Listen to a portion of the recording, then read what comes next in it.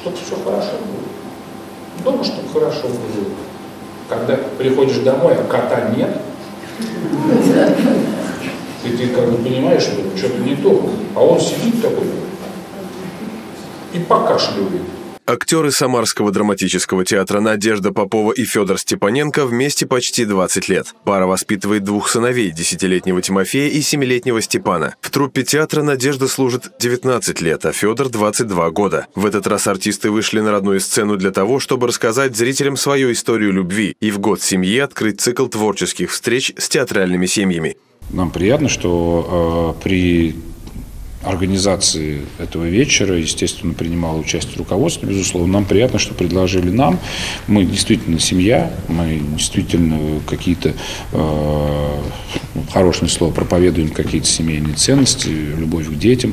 Встреча прошла в форме диалога со зрителями. Актерам задавали вопросы о сложностях профессии, о воспитании детей и тонкостях взаимоотношений на сцене и дома. Надежда и Федор честно рассказали обо всем. Поделились и тем, что главное их увлечение – путешествие на машине. Последнее место, где понравилось всей семье – Дагестан. В будущем пара вместе с сыновьями хочет посетить Абхазию. Мне кажется, интересно зрителям, в первую очередь, узнать э, нас с другой стороны, не только по ролям, и посмотреть, какие мы в жизни, э, что мы, в принципе, точно так же, как и они, разделяем и дом, и работу, вот, что мы, в принципе, ближе тем самым ставимся к ним. Это такой хороший опыт.